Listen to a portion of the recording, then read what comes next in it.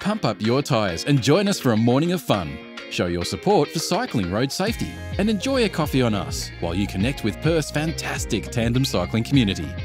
WA's Tandem Cycling Advisory Council is a tandem cycling group that supports blind and vision impaired cycling for fitness, fun, sport, and transport.